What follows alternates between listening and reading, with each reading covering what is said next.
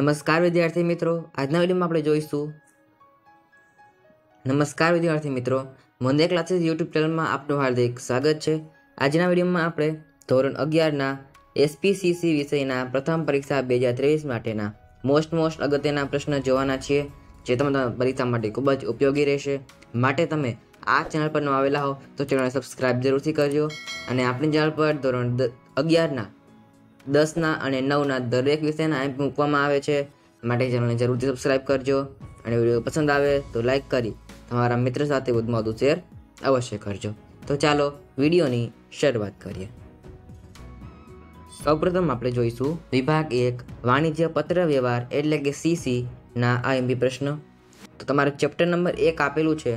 માહિતી સંચારનો અર્થ અને તેની પદ્ધતિઓ.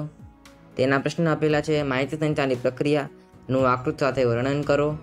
મૌખિક માહિતી સંચારના લાભાલાભ જણાવો. મૌ લેખિત માહિતી સંચારના લાભાલાભ જણાવો. અને ત્યારબાદ છે, માહિતી સંચારની શ્રાવ્ય પદ્ધતિના ઉદાહરણો વર્ણવો. વિદ્યાર્થી મિત્રો આપણી ચેનલ પર દરેક વિષયના આવી વીડિયો મુકાઈ ગયા છે. તેની લિંક તમને નીચેના ડિસ્ક્રિપ્શન બોક્સમાં મળી જશે. અને ચેનલ સબસ્ક્રાઇબ જરૂરથી કરજો. તો ચેપ્ટર નંબર બે આપેલું છે, ત્યારબાદ અસરકારક પત્ર વ્યવહાર અને તેની જુદી જુદી શૈલીઓ. તો જેમાં પહેલો પ્રશ્ન છે પત્ર વ્યવહારની લાક્ષણિકતા વર્ણવો, આ પ્રશ્ન ખૂબ જ અગત્યનો પ્રશ્ન છે. આનો જેવો તૈયાર કરવાનો રહેશે. પ્રશ્ન નંબર બે આપેલું છે, અસરકારક વાણિજ્ય પત્ર વ્યવહારના લક્ષણો જણાવો. પત્ર વ્યવહારના પ્રકારો કોષ્ટક દોરીને સમજાવો. ચેપ્ટર નંબર ત્રણ આપેલું છે, વાણિજ્ય પત્રનો બાહ્ય દેખાવ. તો જવાબ મતલબ આવશે તેનો પહેલો પ્રશ્ન, વાણિજ્યિક પત્ર માટે કાગળની પસંદગી સમજાવો. વાણિજ્યિક પત્ર માટે ટાઈપિંગ વિશે સમજૂતી આપો. વાણિજ્યિક પત્રમાં ચારે બાજુ થોડા જગ્યા એટલે કે હાંસિયા વિશે જણાવો. ચેપ્ટર નંબર ચાર આપેલું છે, વાણિજ્ય પત્રનું સ્વરૂપ. તેમાં તમારે ટૂંકમાં પૂછાય છે મોટા ભાગે. તો અહીંયા તેમાં આપેલું છે તાજા કલમ અને ઓળખ રેખા. ટપાલ પરવાનગી અહીં પર રહી ગયો છે. ટપાલ પરવાનગી વિશે સમજાવો. વાણિજ્યિક પત્રમાં ધ્યાનાકર્ષક રેખાનો અર્થ અને તેનું ઉદાહરણ સમજાવો. પાંચમો ચેપ્ટર છે પૂછપરછના પત્ર તેના પ્રત્યુત્તરો. પૂછપરછના પત્ર લખવા માટે ધ્યાનમાં રાખવા લાયક બાબતો જણાવો.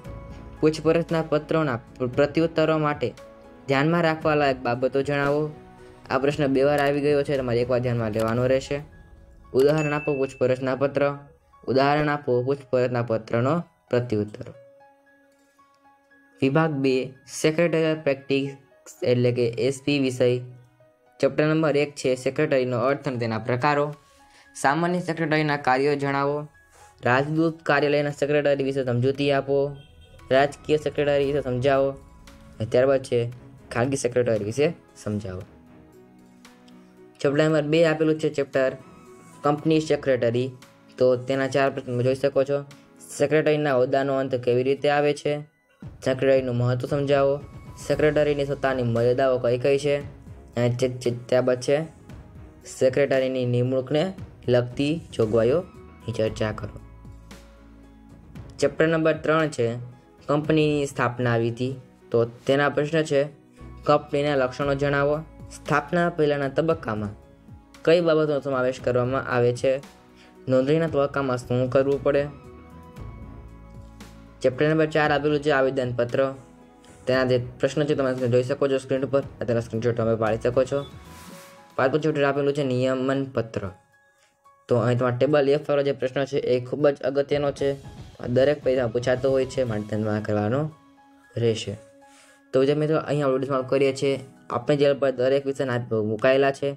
તમારે તે ન જ્યાં હોય તો જરૂરથી જોઈ લેજો.